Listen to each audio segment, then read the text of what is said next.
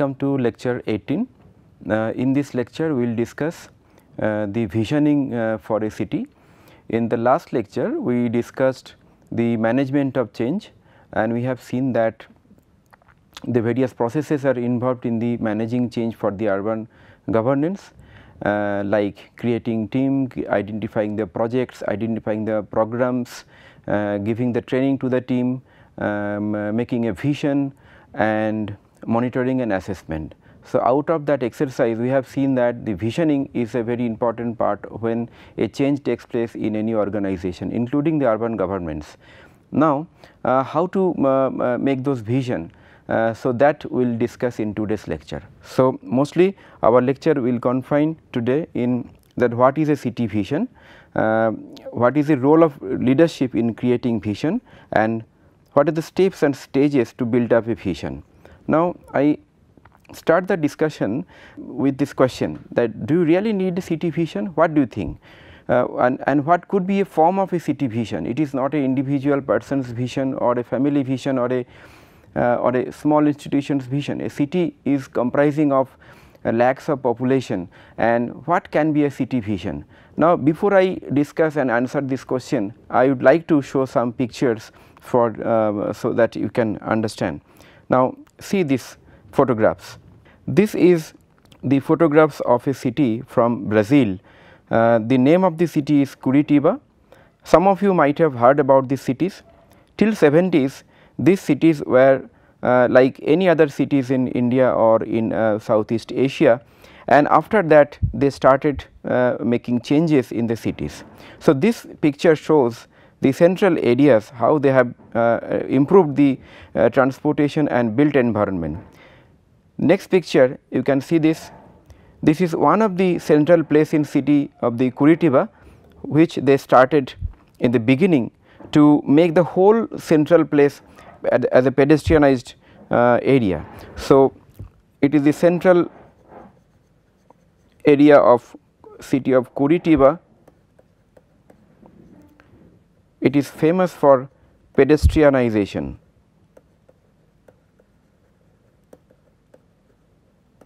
Let us see another picture. Now, in this picture you can see that uh, some uh, system of the public transportation with using bus and some tube system with uh, fantastic um, uh, placemaking using the uh, sittings and other uh, elements in the street, street furnitures. it is also from the Curitiba city and this is another picture from the uh, Curitiba. The city of Curitiba they created they could create enormous amount of uh, green spaces in the city. Another picture you can see that from a uh, very congested and uh, not so designed and planned township uh, they have created this kind of city. Now this person James Lerner is the person behind this transformation. And he was the mayor of the city of Curitiba for 3 times. And as a uh, occupation he was a uh, town planner. And he uh, changed this uh, city from uh, a earlier uh, congested and not so good city from a green and sustainable city. Now this shows the effect of a vision. And the vision what a person as a leader can see or foresee another 10 years, 20 years, 30 years and take the people with him and the community groups with him, the municipal structures with him and envision them and make a uh, combined and shared vision and implement that that is the only way how we can transfer uh, transform and change our cities. So, that is why I, uh, I, I, I, showed these pictures just to answer that question do you really need a vision? Yes, we really need a vision if and provided if we want to have a change in our cities towards the better, uh, better and progressive and sustainable and green um, cities. So, that is the answer of the whether we need a city vision or not. Now, the question is what is a city vision? Is it a uh, is it a document?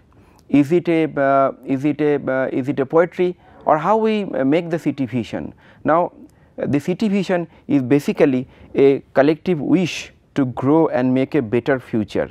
So please see the term that collective wish it is not the wish or a for a particular single individual person it is the aspirations for greater quality of the lives. So, it is the people's aspirations what they want to be for another 10 years or 20 years. Then it is the sharing of the common dream. There are various groups in the city, there are various uh, communities in the city. So, what is the shared common dream across all age group, across all uh, communities that is what a vision is and making and contributing some good for our child. So, it is not only the vision for our own life or our own generation, it is also to make to visualize a city and make a plan or make a roadmap for our ch children's or the future um, generation right. So, this is the vision altogether and a roadmap for policy and development and after all this it is a roadmap what we make because this roadmap basically takes the present to future. So, this is the roadmap So, basically vision gives a roadmap uh, what, what we aspire, so what we dream for our city. Now, we can see what is the vision process. So, basically vision process involves certain stages one is plan, second is participation, prepare, present and publish. So, if you follow the plan means you plan uh, and participate and make people participate with your uh, discussion and the workshop. So, in the plan you make the purpose that is the object that is the uh, goal where the city wants to be and city goes to uh, wants to reach and then you make the people participation so that you can consult and make the uh, group discussion so that you can make a shared and the common um, um, goal and then prepare. So, if you have uh, a multiple uh, community, multiple words, multiple uh, areas and multiple groups. So, working with them, discussing with them, making various kinds of uh, vision statement and compiling them is important. So, compiling them in a precise short statement is also important that is the third step and then you have to present them again to the citizens and the population for the feedback and then publish in your public domain like websites and the print medias. So, that people also get to know the investors, the outside world, the funding agency, the common citizens everybody will get to know from the uh, publication. In short it is the it is the 5 P which is the process which is the process for the vision that is plan, participation, prepare, present and publish. Next how to write a vision.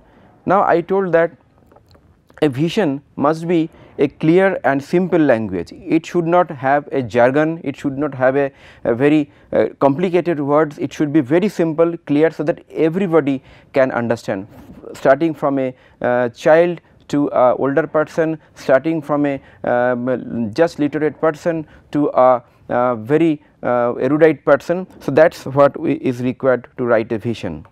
It should not have any ambiguity or jargon in the meaning or in the statement there should not be any ambiguity or the confusion of the meaning. It should use the short sentences instead of large sentences sentences it should be thematic. The vision should not give any specific prescription, it is a thematic and broad uh, statement and it should represent the collective aspirations for people, land and resources. It is not the representation of only one person, it is a collective aspirations for people, land and resources. When we talk about the resources, it is also the environmental resources, people, land and the natural resources.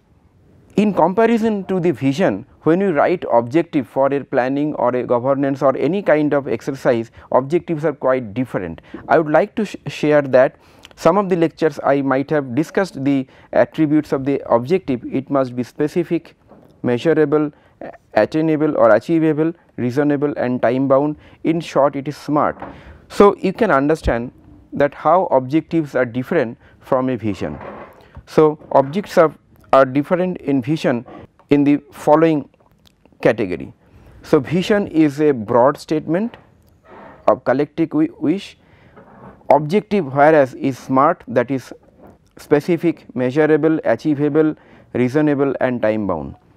Vision is crisp, it should be written in shorter sentences, objective is many and thematic, vision is leading to make scenarios, objective basically leads to the programs and projects. The objective of writing objective is to implement some project.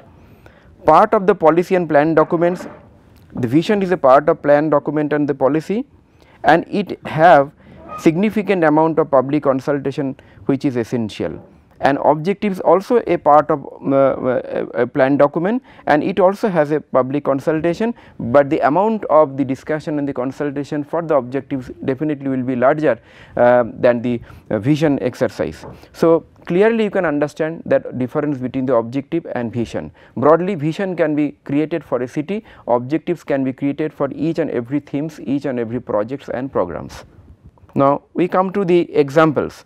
Now, I have just taken from the vision of how we write from IIT Roorkee the vision statement. Please read the lines very carefully. The vision statement of IIT Roorkee says that to be the fountainhead of new ideas and innovations in science and technology and continue to be a source of pride for all Indians. So, it is very please follow the description what I had in the last few slides that it is a precise uh, description crisp using simple and clear uh, language without any ambiguity and jargons. And please see the, uh, the, the key words like ideas, innovations, science and technologies. So, you can see that it is the it is the areas of work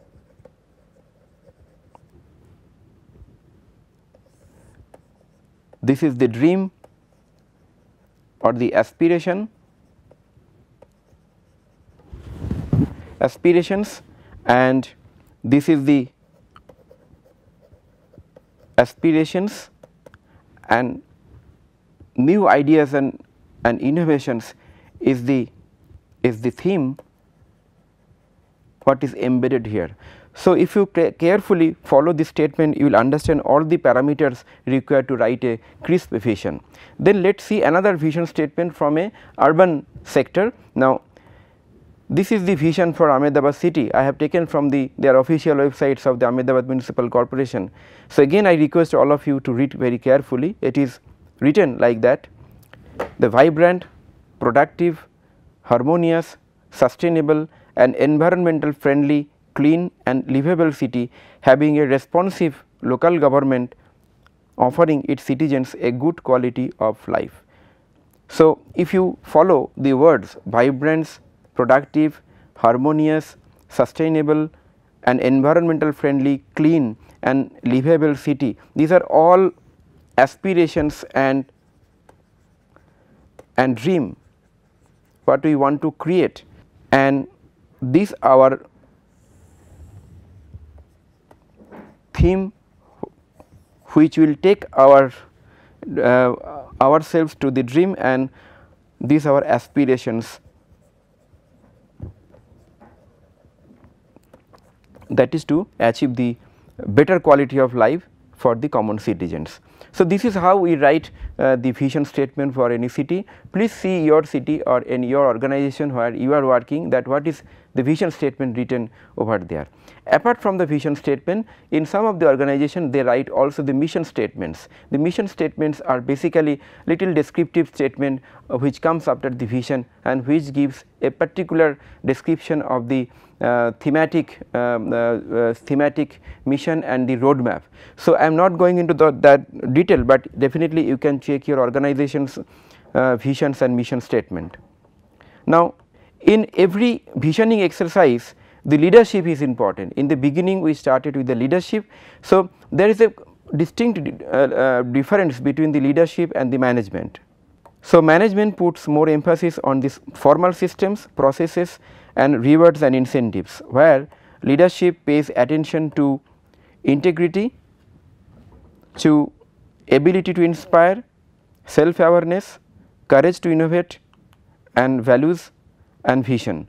So, you can understand the management of any organization it considers formal systems, processes, rewards and incentives. For urban government it is the all the existing systems and processes which actually runs the office it will come under the management, but leadership is something which shows the direction of the growth of the city and the organization which uh, which uh, which has this um, attributes like integrity, inspiration, self awareness, courage, values and vision.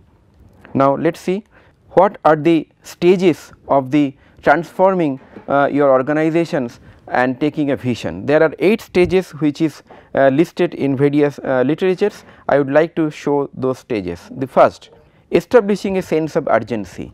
The first thing in this is a common uh, uh, phenomenon then that it can be applicable for organization or it can be applicable for individual and group also.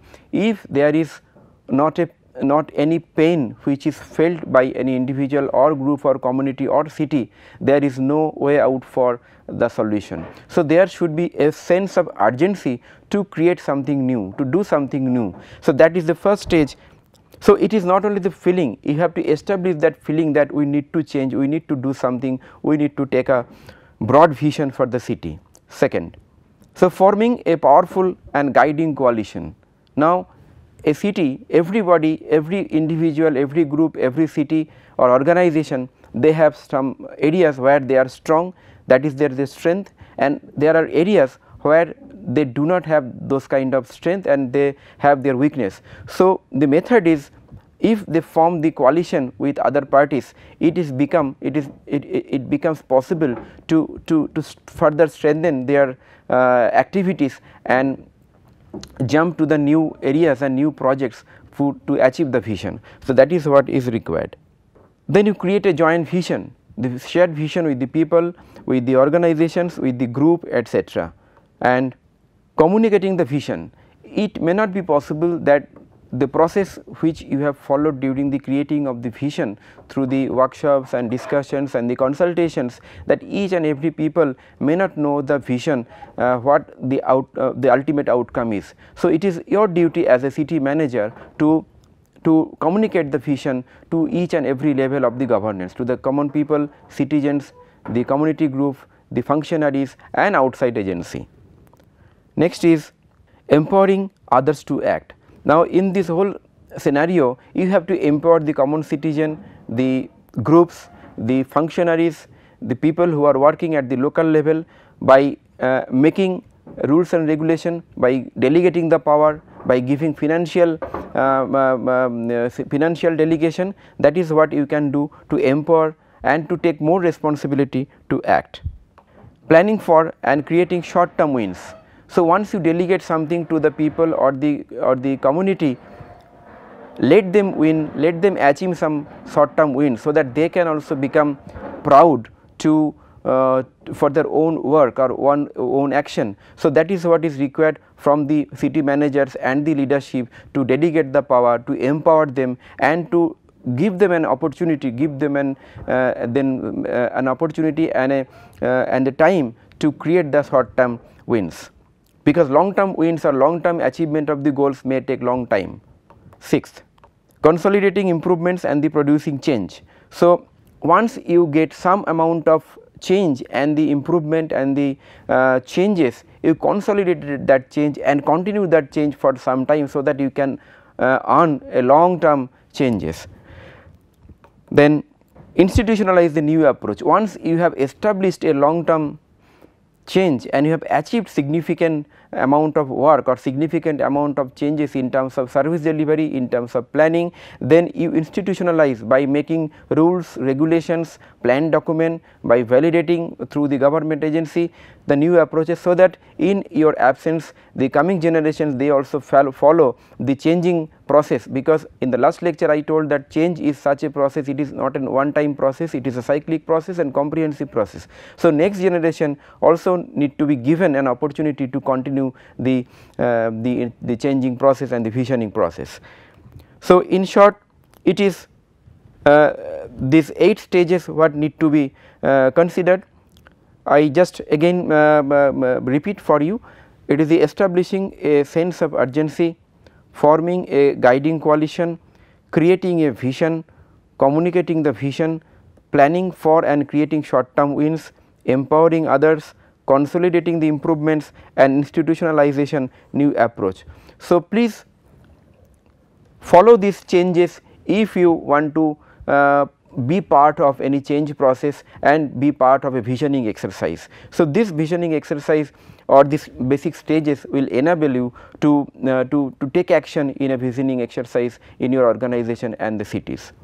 So, with this um, I would like to conclude today's lecture. In today's lecture we, we started the lecture with the question that do we really need a vision for a city then we showed some of the pictures and the examples of the city Curitiba just for an instance and just to make you thinking about the vision and we have seen that in last 30 40 years the city of Curitiba because of its uh, leadership and visioning uh, and visionary actions they could change the city from a very inferior condition to a uh, renowned city green and sustainable city in today's context.